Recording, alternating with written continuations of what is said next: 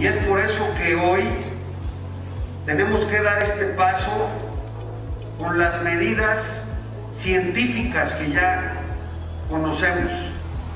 Hoy damos ese paso de la mano de las personas más importantes,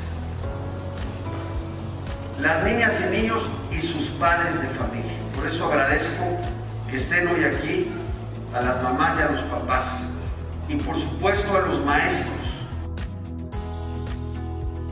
El 100% de las niñas y los niños están ya en clases a partir del día de hoy en cualquiera de las dos modalidades, a distancia o, como lo estamos viendo hoy, de manera semipresencial. Quiero externarme reciente a Paco Villarreal, ha sido un amigo, un aliado de la educación en la Escuela Primaria Benito Juárez. Nos han dotado de toda la infraestructura mobiliaria. Con este equipo de cuatro lotes acabamos con todos los salones de tener totalmente equipada con mobiliario adecuado. Con mi nena desde las 6 de la mañana. Ya estamos listos para ir a la escuela. Preparó su mochila, sus útiles, su refrigerio. Muy feliz y contenta de volver a ver a sus maestros y a sus compañeros.